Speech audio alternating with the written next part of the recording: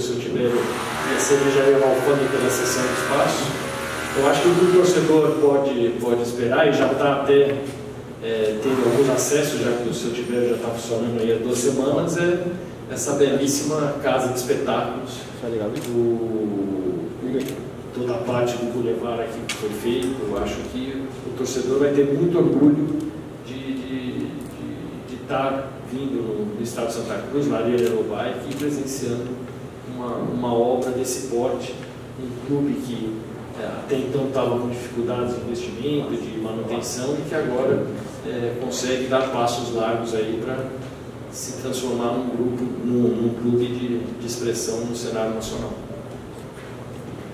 Bom, Roberto, bom dia. O que eu, gostaria de saber é como que andam a, se tem alguma novidade das obras do Hard Rock. Tinha um, um banner até outro dia que as obras iriam se inaugurar em julho, né? É, gostaria de saber como que anda, se tem alguma previsão nova, se mantém em julho, como que é? O, bom, é claro que a gente não tem muita ingerência na obra do Hard Rock. O, o espaço já está liberado para eles, né? a construtora já está contratada e com as obras iniciadas e o cronograma deles efetivo, em termos mundial de inauguração, é julho pode haver algum atraso, até porque todos sabem que o Rock, principalmente a parte de memorável, os, os artigos, é, são importações feitas como artigos de museu, etc., pode acontecer algum atraso. Mas eles, eles estão confiantes de que o cronograma vai, vai estar sendo. A gente não pode falar muito em prazo no Brasil, porque vocês vêm aqui, né? A gente tinha interesse de estar inaugurando em fevereiro e estamos aí com quase 4, 5 meses de atraso todos sabem todo o esforço que foi feito para a gente cumprir os prazos. Então, mas tenho certeza que, pelo menos o projeto, acho que algumas fotos, alguns, algumas maquetes até já foram disponibilizadas para vocês e o projeto está muito bonito e acho que junto com o seu Tibério vão, vão renovar aqui toda a Ribeirânia, o estádio, a arena, eu acho que a gente vai transformar, como a gente pretendia lá atrás, transformar isso aqui num local em que todos os dias a gente vai ter eventos de toda sorte aí para a coletividade de Ribeirão Preto. Boa tarde, Adalberto. Falando sobre a inauguração agora contra o Corinthians, qual é a expectativa? A expectativa é que a Arena lote, o torcedor venha apoiar. Como vocês estão vendo essa inauguração contra o Corinthians? Lotar não, tá? A gente não tem essa expectativa. Primeiro por ser um jogo amistoso, a gente sabe que, que o jogo amistoso às vezes não, não, gera tanta, tanto interesse, principalmente eu acho que por parte do, do torcedor corintiano, que já teve outras oportunidades de acompanhar o Corinthians na região aqui esse ano, mas a gente tem expectativa de ter um bom público. É, pelo fato de ser o Corinthians, a gente fez uma, uma que seria muito importante para nós também. A gente fez um, uma boa negociação para que a Sport TV passasse o jogo para todo o, o, Brasil, que, que vai estar tá é, mostrando a arena, mostrando a inauguração, mostrando a força do Botafogo para todo o Brasil. E, embora a gente não crie em casa cheia, a gente acha que vai ter um público aí considerável, pelo menos de 14, 15, 16 mil pessoas, o que já daria um, um abrilhantamento para a nossa festa. E com relação a, a, pelo menos de autoridades, diretorias de CBF, de federação, prefeitura, a gente feedback de todos que vão estar presentes aqui prestigiando o evento é muito grande e a gente está muito satisfeito aí com essa, com essa inauguração e de estar recebendo o Corinthians para essa festa. Adalberto, nós já temos no, no espaço da Arena Eurobike o bar do seu Tibério já funcionando normalmente. Muitos torcedores perguntam como será o funcionamento também do bar, o acesso para o estádio Santa Cruz, para quem estiver neste bar, terá alguma cobrança de ingresso à parte. Também dependemos ainda do governador Dória liberar a venda de cervejas nos estádios. Como será o funcionamento de tudo isso?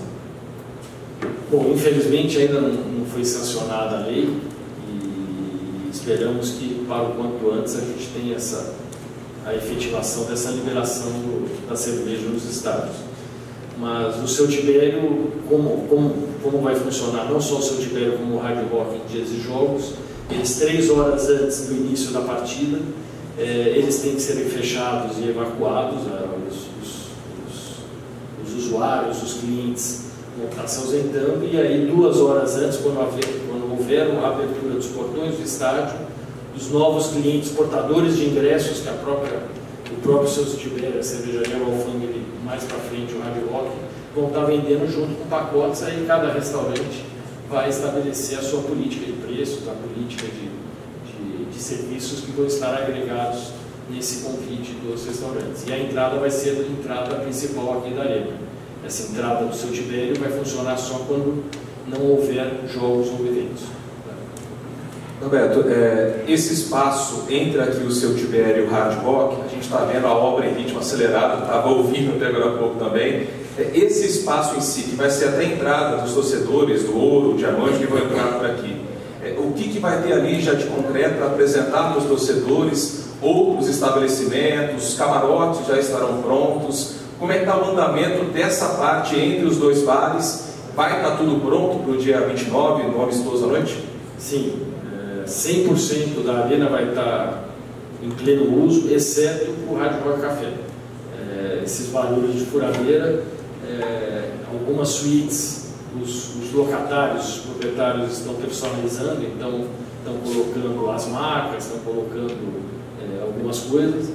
Tiveram alguns, principalmente os itens de esquadrias, a gente viu que, é, como instalamos muitos o show do ABA e a obra ainda estava em andamento, é, algumas se estragaram, etc. Então a gente deixou para serem instalados efetivamente no último momento para não, não, ter, não ter risco de dano. Mas vai estar tá tudo funcionando, o lounge Johnny Walker, a Eurobike vai estar tá com os, com os automóveis e motos aqui no, no, corredor, os outros patrocinadores vão ter espaços para relacionamento, todas as suítes em pleno funcionamento, o espaço Kids, a Vilinha Kids também vai estar já em funcionamento, então o torcedor que vier é, vai ter acesso a todas as, a, pelo menos a presenciar todo, todo, toda a lei em funcionamento, exceto o Rádio Rock Café, que é uma obra particular e que vai ter aí o seu, o seu curso normal que eles estabeleceram. E os food trucks que ficar na parte externa, é, eles já foram negociados? Vão estar aqui no sábado? Não, ainda não. Até porque a gente não quer colocar vão ser food trucks, mas vão ser estruturas permanentes que vão ficar é, durante toda a semana. Então já temos alguns é, negociados até que vão estar, mas isso a gente pretende para que o próximo, no próximo show a gente tenha todos é, já estabelecidos. Por enquanto ainda não, porque a gente priorizou a parte interna aqui da arena. O Botafogo atingiu a marca de 8 mil sócios. É, a expectativa de vocês é que com a inauguração chame mais ainda o torcedor botafoguense para se associar, mostrar que os valores compensam mesmo, que mostrar para ele que a arena é um benefício para ele? Não, com certeza. Até porque nós tivemos que limitar o número de, principalmente sócios torcedores e bronze, em razão do, da, das limitações de espaço que nós tínhamos, já que os, os sócios tinham que compartilhar os, os, os assentos junto com os proprietários de cativo. Então a gente acredita, e a gente também até ficou um pouco é, mais modesto na divulgação, etc., sempre próximo desse número de 8 mil, e a gente acredita que a partir de segunda-feira a gente vai voltar a trabalhar forte no, no, no engajamento, porque a nossa meta de 20 mil sócios, a gente quer que seja atingida, a gente sabe que não é uma meta fácil nem de curto prazo, mas que a gente acha, acha viável e a gente tem certeza que os torcedores com mais conforto, os banheiros, acho que vocês puderam ter acesso aí ao, principalmente banheiros, é, é, assentos, acho que isso vai trazer um novo público para o estádio que vai fazer com que esses números sejam atingidos. Ô, Dalberto, o, o site Total Ticket acabou divulgando uma área mista no estado de Santa Cruz. Você já declarou aí nas redes sociais que foi um equívoco. Eu queria que você explicasse ao torcedor botafoguense: não terá esse espaço misto mesmo no estádio de Santa Cruz? Não, realmente foi um equívoco. Nós teríamos aqui ao lado do sócio ouro uma área que eventualmente poderia vir a ser mista, mas que eh, tanto a Polícia Militar como nós achamos por bem bloquear até para que houvesse uma, uma divisão de torcida, para que não tivessem torcedores adversários próximos aqui do seu Tibério, para a gente ver nesse início de, de, de, funcionamento da arena como que vai funcionar. E aí acho que algum funcionário, na hora de, da elaboração do layout, cometeu algum equívoco, mas ainda bem que os torcedores ficam atentos e a gente conseguiu aí rapidamente é, consertar. Pelo contrário, tá? dois ou três dias antes a gente teve a vistoria da Polícia Militar aqui na segunda-feira, e conseguimos até que haja uma proibição.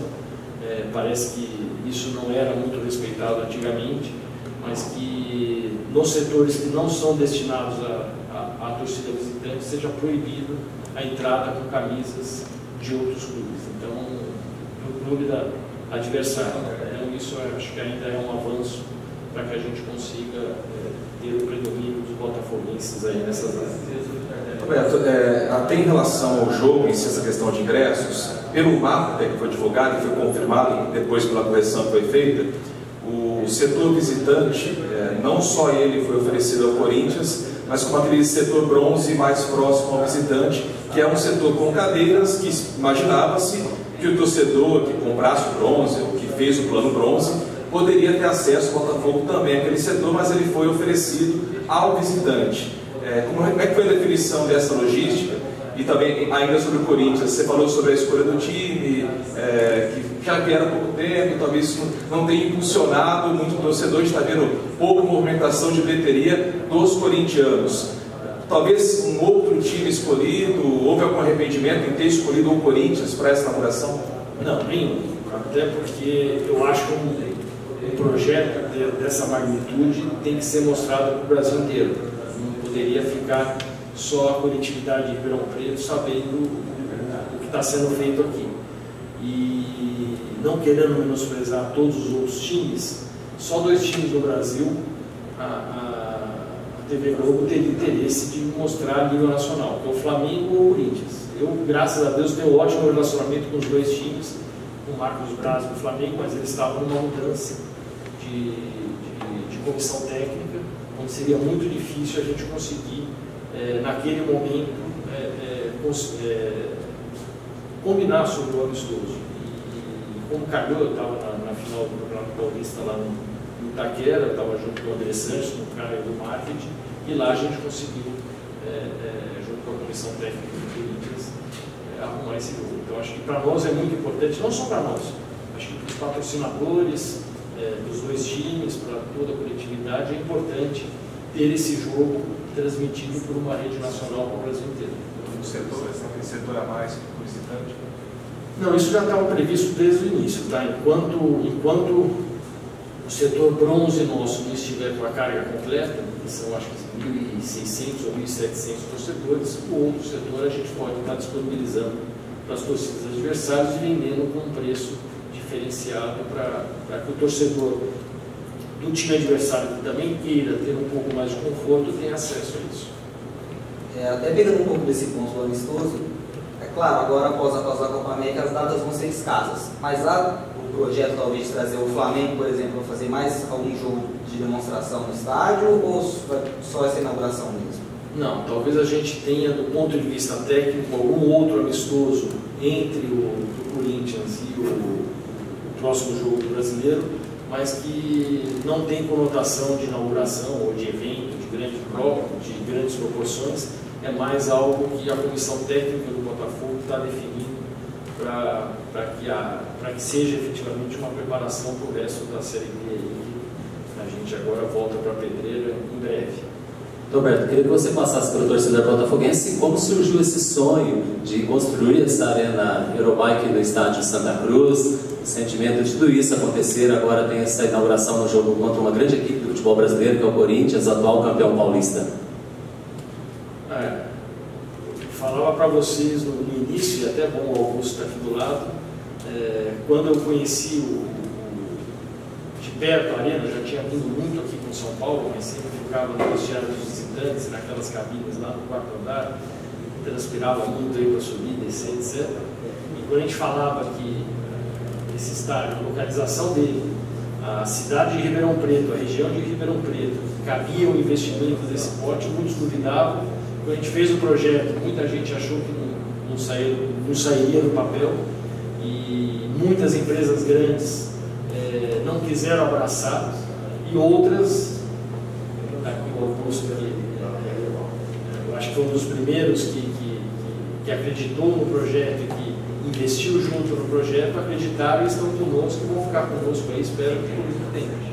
Então, é a realização do sonho, o projeto, a cada semana foi se aprimorando, a gente conseguiu toda a parte externa, é, o projeto foi aumentando, eu acho que a Alfândega depois pode até declarar isso, mas é, conforme o projeto ia andando, é, a certeza do sucesso ia fazendo com que os investimentos e com a vontade de fazer o projeto cada, ser, cada vez ser maior e mais, mais, mais, mais apto a receber todo mundo, fez com que é, desse tudo certo. Então, para mim é a realização de um sonho, eu estou muito feliz de, de estar acontecendo essa inauguração na sexta, fiquei muito feliz na inauguração do seu Tiberio aqui, que já foi um sucesso e que tem sido aí diariamente recebendo é, público enorme. E não só o público, que além de receber, receber o número de botafanáticos, que, de torcedores que vêm aqui, olham isso e falam, vou virar botafanático.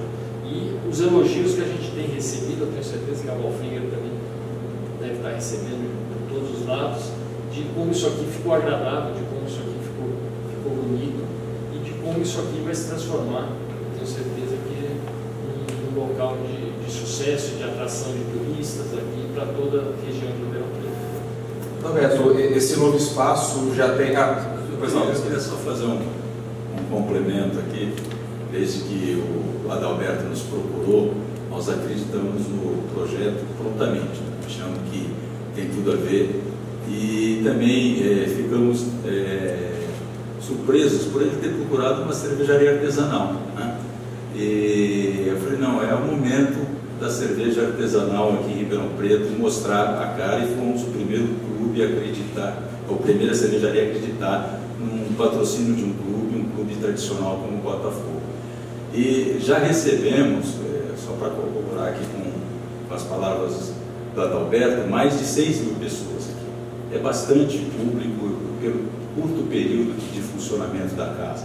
É uma casa alegre, onde a gente mistura é, é, futebol, samba e cerveja. É, quem teve oportunidade é, nesse período de conhecer, viu que é uma casa é, muito, tem muitos atrativos, principalmente o pessoal gosta de sentar ali na varanda e ver aquele gramado, a noite acende, fica, fica bonito. Eu acho que a gente está muito feliz.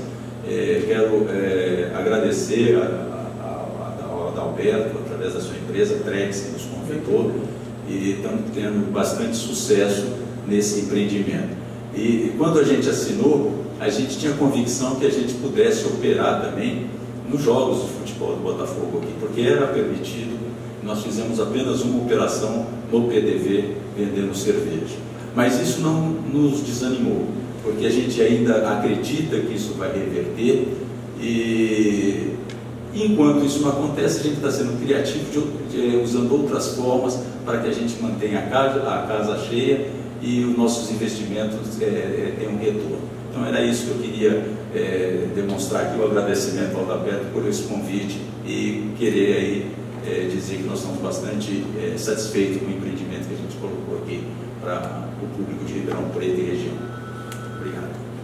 Adalberto, é, só seguindo, é, o, nós tivemos o show do, do ABBA aqui já realizado, há outros shows já certos, agendados ou próximos, fala-se em Information Society ou algumas bandas que podem se apresentar no Rock in Rio e virem aqui também a Ribeirão Preto. O que, que há já de certo em relação a próximos shows? E só me dando outra pergunta também, é, torcedor reclama muito da iluminação do estádio. Há algum projeto, alguma ideia de melhorar essa iluminação do estádio Santa Cruz? Com relação a shows, nós temos acho que oito datas reservadas aí no segundo semestre para a realização de shows, mas a única data com os artistas já confirmados efetivamente é do dia 20 de setembro, é Information Society e Double U. E a gente acredita que deve ter aí mais 8 a 10 shows até o final do ano.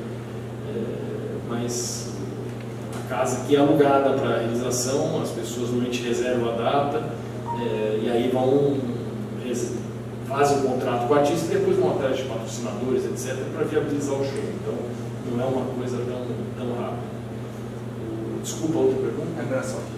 Da iluminação. Eu sempre disse desde o início que a gente teria é, o, o Estado de Santa Cruz, o Botafogo, uma série de necessidades de investimento que a gente tinha uma priorização. A realização da arena era a primeira, porque primeiro você precisa é, ter novas receitas para conseguir ser competitivo no futebol. Então acho que a primeira parte está tá, tá quase concluída, ainda tem a parte externa aí, como foi perguntado com relação aos supertrucks, as lojas do Pantera Shopping, Bota Fanáticos, a gente ainda vai dar um upgrade. Tem uma necessidade dos vestiários e tem a necessidade da iluminação.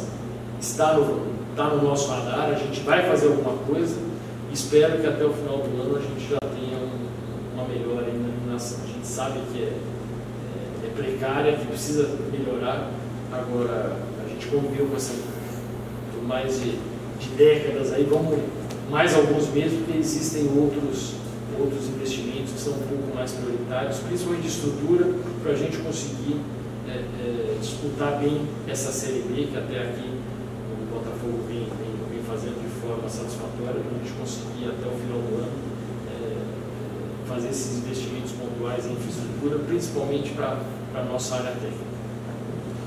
Adalberto, como que você avalia que a construção da arena, desse dessa estrutura pode elevar o patamar do Botafogo no, no cenário nacional?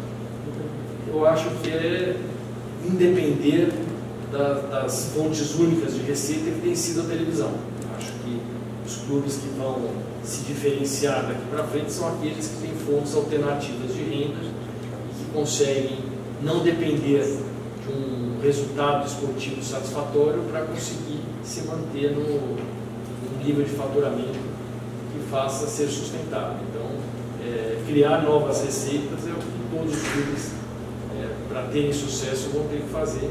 E acho que o Botafogo está saindo na frente, assim como outros clubes de São Paulo, início dos anos 2000, se diferenciou por todos aqueles títulos, porque foi o primeiro que começou a, a, a buscar receitas fora daquelas que só os clubes de futebol tinham.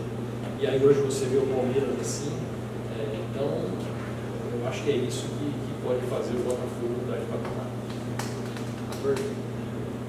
Abordando um pouco essa parte da proibição das bebidas alcoólicas no estádio. É, queria saber qual é a visão de vocês sobre isso, porque todos nós sabemos que proíbem a bebida dentro do estádio, mas a 10 metros está sendo vendido.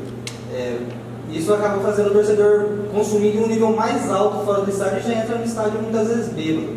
Queria saber a visão de, de vocês sobre isso.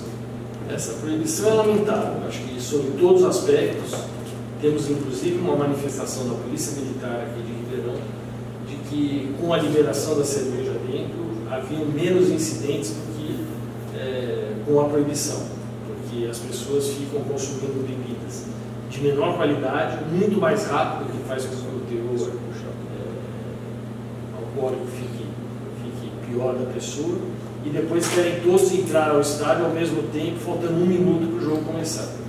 Então, além de todo o prejuízo de ordem econômica que é gerado, porque é, esses produtos não recolhem impostos, as arenas não podem explorar direito os seus e restaurantes, um problema de segurança que também acaba piorando. Então, é lamentável, espero que o nosso governador use o bom senso e sancione o quanto antes essa, essa lei que foi aprovada na Assembleia Legislativa.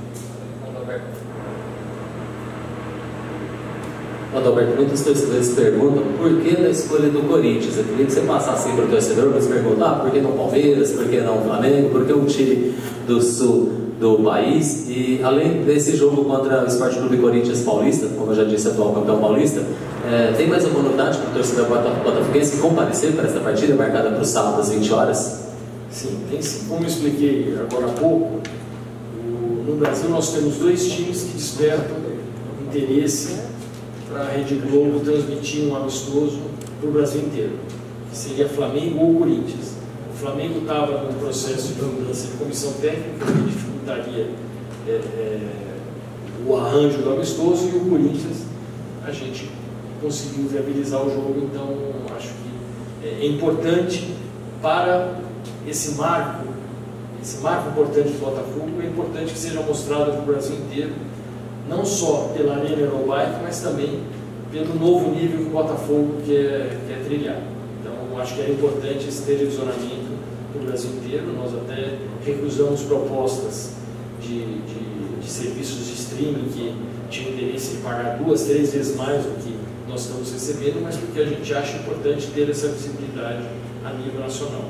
E o torcedor vai ter várias atrações. Então, É, a partir das 7 horas vamos ter shows, vamos ter várias atrações aí para marcar essa, essa data como algo importante para o Botafogo. Alberto, é, a gente desde ontem vê uma estrutura sendo montada ali em cima. É, você pode dizer para a gente o que é? Seria, ficou a dúvida se era um, poderia ser um placar, se poderia ser um palco para show? Pode tirar a dúvida? Claro, claro que sim. nós aqui vamos ter um placar de primeiro mundo, é, um painel de LED de, de primeiro mundo.